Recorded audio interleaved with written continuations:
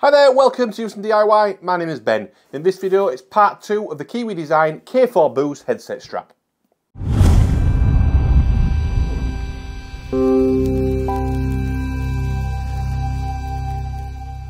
Okay, so in part one of this video, we unboxed this headset strap, which is the second one of these, the K4 Boost headset strap with built-in battery. Super, super comfy. Feels like it's floating on your head almost. Bit of an exaggeration, but it is really, really comfy. The support on the back's really good, and the cushioned element on the top, again, really, really good. Been impressed so far with it. So part two of this video, or part two of this video series is we're going to unbox this second one. We're going to take it to bits, we're going to do a battery test on it, and you can see the inside of the actual headset strap, see how it actually is built, how Kiwi Designs have designed and built the actual headset strap. And then any questions you've got in the follow-up to this video, you can ask in the comment section. So what we'll do, we'll get this one out of the box, I'll take this one off, and uh, let's uh, get de-assembling this headset strap. Okay, we've got a couple of angles on the go now, up here and over here as well. This one just to give you a bit of a different angle, maybe a little bit of a close-up. Um, so I've got my USB-C testers. This is a USB-C cable with a testing voltage tester in there. I've got a separate one here that I've got as well. So I'll try this one first. If that doesn't work, we'll then try that one. Hopefully this one will work. So the idea is just to uh, plug this in between the actual battery cable and into the headset. Hopefully the cable will reach. It might not, so we might have to use that one there. Uh, but we'll see kind of what pass-through we're getting from this battery into the actual headset. So let me just take my little protector off there, plug that into here, and I don't know if I will quite get the angle. No, I won't get the angle with that one without breaking it, so let's try this one instead. Okay, so what I've gone with, I've just gone and got, this is a USB-C extender. Um, so the USB female port there, into a male port there. This is a uni green, oh sorry, a U-Green cable. Sorry, I'll link below if you want to grab one yourself.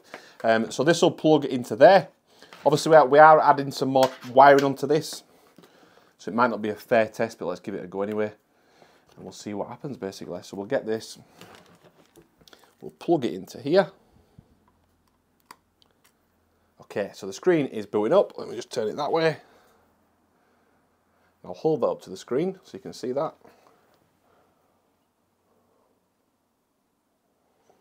Hold that to that camera there.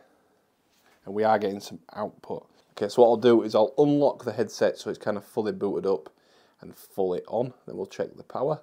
Okay so that is now booted up and at the home screen. Let me just check what is on there. So we're getting 8.85 volts with 0.82 amp passing through there. Um, so I'll get what I'll do is I'll just get a real close up of that just on, on my on another camera here, just so you can see that. So I'm just getting a little bit of video footage of that there. Okay, so recording here as well, just get a real close up of there so you can see what's passing through. So that's the pass through you're getting from the actual battery into the headset there. So that all looks fine. Obviously the um, that'll go up and down in terms of the amperage in terms of when you're using the actual headset. Um, so that is that is that showing the pass through all working fine there. So what we'll do now, we'll have a look exactly what the uh, battery looks inside the headset strap. So we'll use this one. So we're going to unbox this one real quick, get it down onto the desk, and then we'll use some tools I've got here just to deassemble it the best we can and check what's going on inside. Okay, we don't need this at the moment. We'll just move that out of the way carefully. Pop that down there. Let's get inside this one. Okay, just to confirm a couple of things. I don't think I covered it in the first one. Obviously, I did cover it. it's a 3000 milliamp hour battery, 5 volt, 2.4 amp, um, 20.4 watt hours. That's the energy. And it's USB Type C in and out. Uh, input contact power up to 45 watt. Output contact power up to 25 watt. Um, operating temperature between minus 10 and 45 degrees Celsius. So there we have it. Model number is QS02B. So that's all on the back of there just to confirm. So let's get this actually inside here now. Let's stop waffling about that. So we don't need that element. I'll keep that as a spare for now. And that's the box with nothing else there. Let's take this. Okay, as I mentioned, it is really, really well built. Um, so you can possibly see on one of these cameras um, there is certain some screw holes on the inside of there. So what we'll probably do first of all is try and get those uh, unscrewed, unfastened. So I'll just get my um, screwdriver set here and we'll see if one of these can fit into here. Okay, so I think I've got a bit that fits. So let's try and get this unscrewed now. Okay, we go. So there's five screws by the looks of it here. Just keep them over there, keep them safe. We'll try and put this back together if we can after. I'll also link to the screwdriver set as well that I got off Amazon.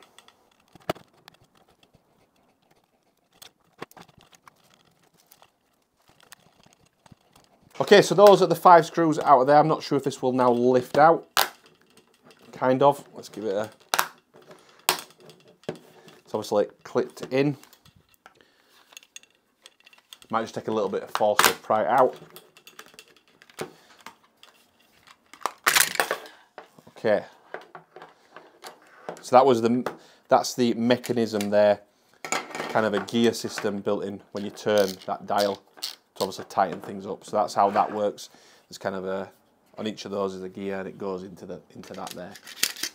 So that's that. You can then see the ribbon cable there. So we've got the USB-C ribbon cable which comes from the inside of there, which then goes down the actual battery strap arm. So we've got the, the ribbon cable there into the arm and you've got the cable coming out of there. So there's a ribbon strap going down this arm, which is cool, which then gives you the flex as well. So it allows the actual ribbon cable to flex as this gets smaller and larger.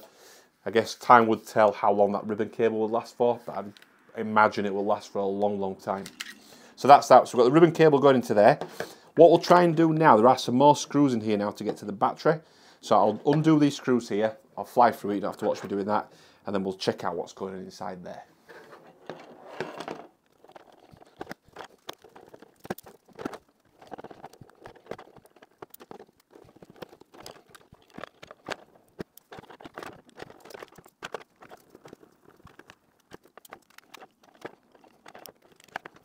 Okay, eight screws um, uh, unscrewed there, four on each side of this plastic bit here. So I'm just try and prise this bit out now, which shouldn't be too difficult, hopefully.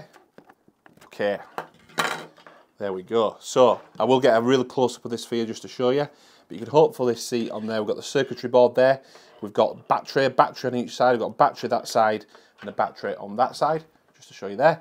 Uh, the circuitry board on there, as I mentioned, which obviously controls all the power in terms of the power distribution out of the battery into the headset and also charging. So you've got capacitors and all sorts going on in here. I'm not going to pretend to know what's going on fully, but that's what's going on. Uh, you've got two connectors for the batteries, um, just the wires going there, and you've got the actual USB-C ribbon cable that connects into that uh, into that connector there. What I'll do, let me just get a real close up now, just with my uh, phone camera, just so you can see exactly what's going on there, just with a real close up. Okay, there we go. Real close up just using the phone camera just to get close up on those uh, components inside of there. You can see the actual camera, uh, sorry, the USB-C cable, the ribbon cable that's connected there into there. You see the different elements used for the uh, cable. Um, you can see the two black wires that go from each side into the battery. So you've got two batteries split evenly across the actual unit and then as I mentioned the actual circuit board there that's controlling all the power. Uh, USB-C port there, let's get a focus on that, which is soldered on directly onto the board. Um, so obviously if you had an issue with your USB-C port, in theory you could take this to bits quite easily and you could all, you could even replace that USB-C port really easily as well.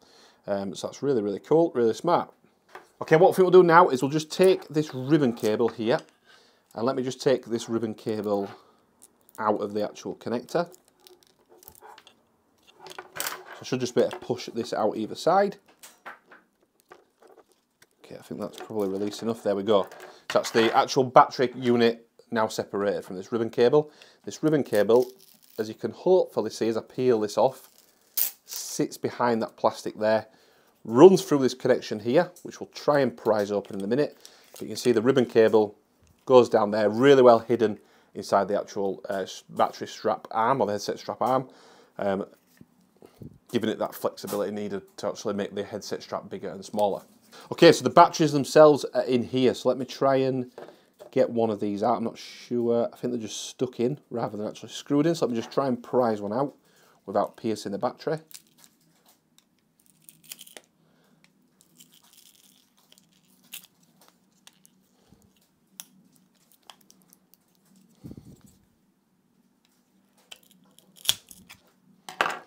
Stuck down with some glue and some tape inside of there. So that just prizes out really easily. Um, it's got the connections on there. Again, I'll get another close-up of the back of this as well, just to show you. Let's try and get this whole unit out though. Let's try and get the other, other battery out as well. So it's totally separated from the plastic. Again, let me just try and prise the battery out without piercing it. Like so. And there we go. That's the plastic bit now totally disconnected from the battery unit. So we've got the battery connection on the back of there. So again, like I mentioned, let me just get a close-up of that for you just to show you. So let's record a close-up of the back. See the connections onto the pads back there from the battery. And the pads there as well from that battery. The batteries themselves, they are labelled up. Let me just see if I can see if they're exactly the same. Okay, so the batteries actually say on them two, uh, 2,658 milliamp hours per battery, it's saying, but it's only rated at 3,000. So I'm no electrical expert. I'm not sure what's going on there, but they're exactly the same. The batteries are exactly the same. Again, let me get a close-up just to show you what's going on in the batteries. So you can see there we've got the milliamp hour, we've got the 3.85 volt, 10.21 watt hours there. Um, let me just flip that around and show you the other battery. So you can see we've got that there as well. So two batteries exactly the same.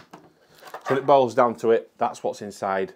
Obviously, there's a lot of intelligence going on in the circuit uh, circuit board here in terms of the um, um, the charging and the battery output. Um, sorry, the output from the battery into the headset, and obviously the charging capability. But in terms of repairability, being able to repair this, I think it will be quite simple to do. If you wanted to replace the batteries, for example, if there was a fault, you could probably do. Um, so that looks really, really good.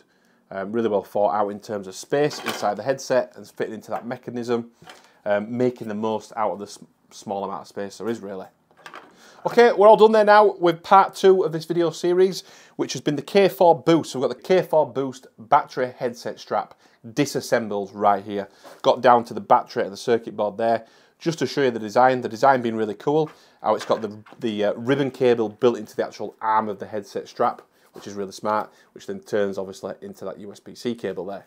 Okay, last thing just to cut in there, what I'll do, I've managed to get hopefully into the actual side here where the ribbon cable is converted into the kind of standard USB-C cable that you would expect.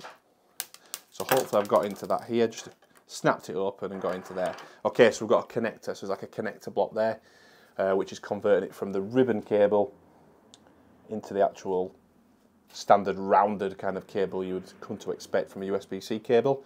Again, let me just get a real close-up of that just to show you. Okay, as you can hopefully see there, you've got the ribbon cable coming through into that connection block and taking it into a USB-C cable there. So really, really smart design. Just had to prise that open with a screwdriver and broke into that, but that's absolutely fine, showing that off really, really well. Okay, all done in this video now. K4 Boost deassembled, showing the internals, what's going on. Uh, very impressive in terms of the design, research, building that goes into that. Really, really cool. Um, hopefully you've enjoyed the video. It's been informative. If you have, please do give it a thumbs up, give it a like. If you haven't for any reason, give it a dislike. Let me know in the comment section why. Any questions about any anything that I've brought down here, about the batteries, anything at all, please drop that in the comment section. I'll reply to all questions and comments. And if you want to follow the Huson DIY channel for more product reviews, tech reviews, Kiwi design videos, home DIY projects, and much, much more, hit that subscribe button and we'll see you on the next one.